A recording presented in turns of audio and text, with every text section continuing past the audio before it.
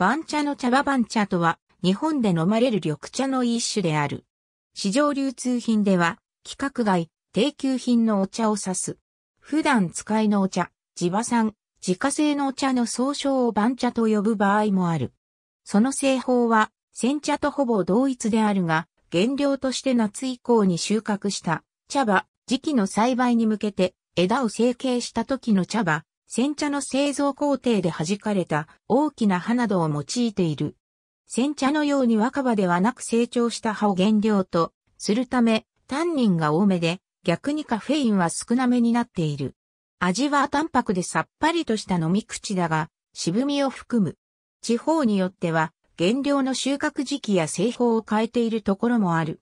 香ばしい風味を出すために茶葉を空入りし、ほうじ茶として飲まれることも多い。番茶がどのような色合いの茶飲料や茶葉の加工法を言うかは、地方により異なる。東京都や静岡県では、黄緑色の煎茶であるのに対して、北海道や京都府は茶色のほうじ茶である。なお、東北地方においても、番茶とはほうじ茶全般を指すことが多い。石川県においての番茶は、茶の茎をほうじた棒茶を指す。軽番茶も独特の製法によるほうじ茶を指し、使用される茶葉は番茶とは限らない。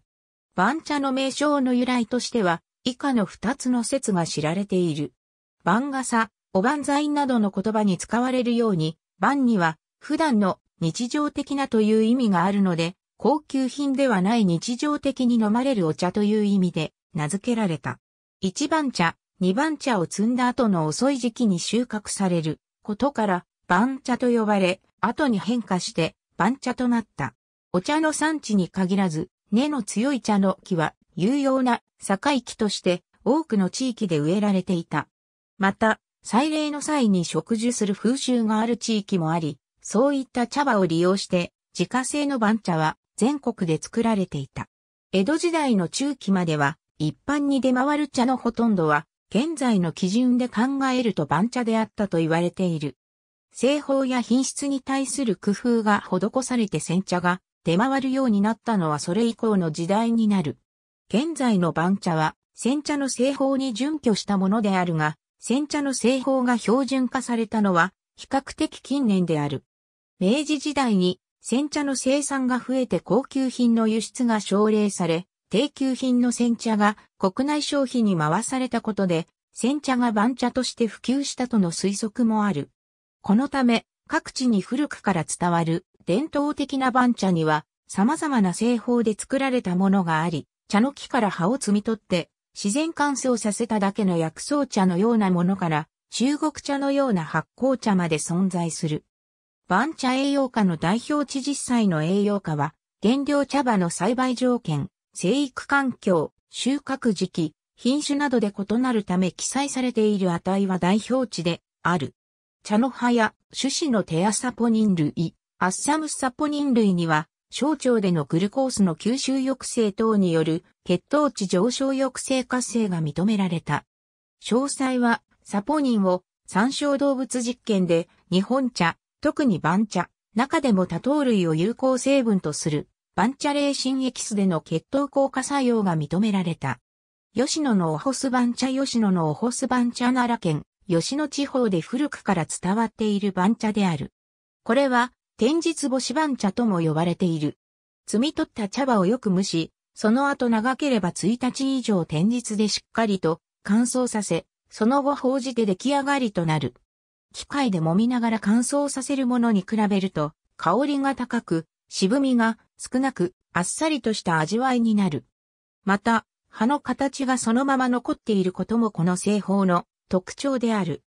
したがって、これは実際には、法事番茶の一種ということになる。美作のおほす番茶岡山県美作市に伝わっている番茶。美作番茶とも言われている。土曜の暑い日、枝ごと買ったお茶の葉を大きな鉄釜で蒸すように煮る。むしろの上に煮たお茶を広げ、煮汁をかけながら太陽の光で干す。お干す番茶は煮汁をかけて、天日で干した番茶は煮汁の茶渋の飴色に輝いていることから、お干す番茶とも呼ばれている。影干し番茶福井県勝山市に製法が伝わっている。番茶。秋に茶の枝を鎌で刈り、縄ですだれのように編んで軒先に吊るしておくだけの影干し番茶がある。飲む前に鍋で軽くいって煮出すもので、ちょうど薬草と同じ方法で利用されている。泡番茶かつては泡番茶と書き、番茶の一種とされていたが、乳酸菌発酵させるなど製法が全く異なり、現在は番茶あるいは番茶と表記されるようになっている。鬼も18、番茶も出花、工事絵によると、出花が正しい。出だしのかぐわしさを表す。番茶も最初の出だしなら美味しいように、仕込めも18歳ならば、それなりに美しく見えるという意味。対して、出花は、話の出だしなどに使われる。この場合の鬼は鬼娘、仕込めを指しているので、娘18、番茶も、出花や、花も18、番茶も出花も広く使われている。ありがとうございます。